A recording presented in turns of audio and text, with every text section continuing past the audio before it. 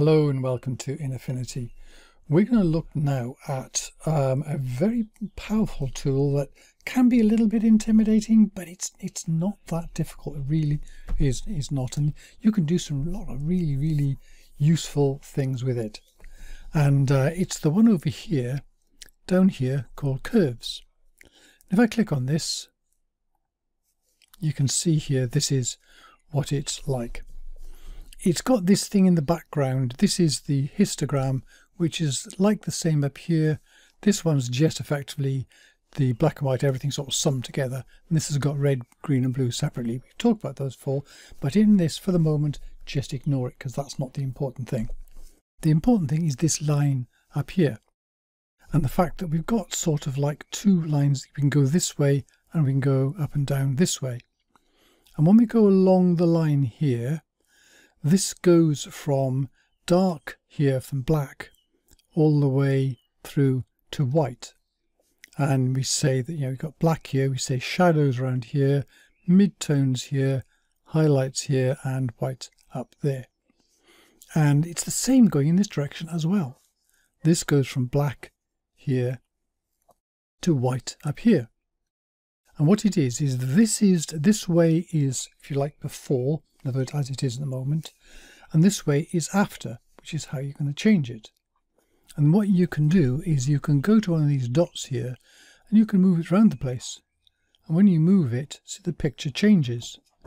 And that's because when you change it here, if it's like if you the way to look at it is say anything along here, it goes up here and sort of bounces and goes over there. So when you start off with a straight line, something which is in the middle goes to the straight line and bounces off, it ends up in the middle as well, so it's sort of like in the same place. But if I move this one here, so as I'm moving this down here like this, for example, I'm going up here, so in the middle, it goes up here, hits this here and bounces off in this direction, so it ends up higher. So middle things here, so this is going to be brighter. So when I'm pulling this over here, everything's getting whiter. Uh, it's not actually a good way to, to lighten things up because look, everything has gone all white. It's what we say is burnt out. So what you normally do is you don't pull the end ones, or you can, and there's more about that at another time. But the easiest thing to do is to go into the middle and see the cursor changes into like a crosshairs. You click and hold that, and then you can move this around. And now you can brighten things up without it causing that white burning effect. In fact, it's quite good. And because when I move this here, and it's because the white's here, before down here, what was white stays white here. It doesn't try to go anywhere else. And similarly with black, things which are black stay black. And I've just got these point, this point here, so I can, if I want to just darken the picture, I just pull it down. And if I want to lighten the picture, I just pull it up. And it'll stay with its put. And I can click merge and keep it at any time I like. So if I've got a picture that's a bit too dark, I can use this and it'll control it in a nice sort of reasonable and tidy way.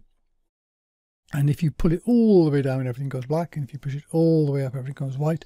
But normally what you do with this, you tend to move it only a little bit.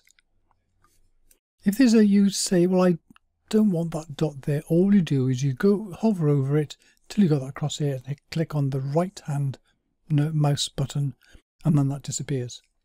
You can always come back and do another one.